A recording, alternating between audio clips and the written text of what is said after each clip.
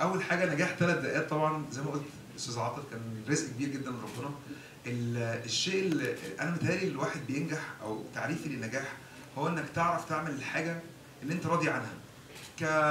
ك... كأي حد كمغني كصحفي كمسؤوليه اللي أنت بتعملها كصحفي والكلمة اللي بتكتبها لو أنت راضي عنها وعارف ان هي صح هتوصل للقلب على طول.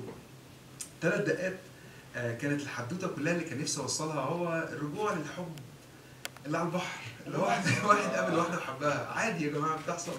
فالبساطة بتاعتها كانت هي دي متهيألي آه، اللي وصلت وص- وصلت للناس في القلوب آه، السنجل اللي جاية آه، ال- الهدف بتاعها هو تذكرة للناس إن وأنتوا عايشين عيشوا وأنتوا عايشين.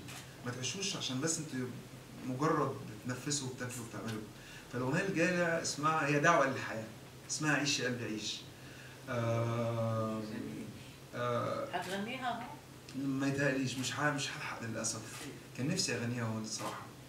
بس آه مش هلحق أغنيها هون. نطلع منها. هون في البريس كونفرنس كمان؟ آه آه، غنى وليد توفيق اهو ممكن خلي بقى أغنيها خلي بعد. تعمل بس آه آه أنا ويسرا اتعرفنا على بعض في رحله ثلاث دقائق آه مش ما قبل ثلاث دقائق آه كنت أنا طبعا أعرف يسرا زي كلنا نعرف يسرا بس هي ما كانتش تعرفني. كنت قابلنا مرة ولا حاجة في البرفورمانس تاني حاجة كان الاختيار هو إن أنا كنت عايز أقدم عمل أنا بالنسبة لي يسرا بتمثل مصر الحلوة.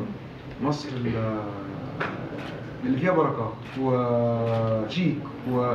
فكان اختياري أكتر كان للبرسونا بتاعت يسرا وليست للنجمة يسرا ف وده حقيقي كان كل التفكير بتاعي مش إن أنا أطلع حاجة ونجومية وف... ما كانتش طبعا طبعا دي بتيجي معاها إن يسرا هي يسرا بس هو كان الاختيار أكتر له علاقة بال عايز ما عايز أبقى طالع من مصر.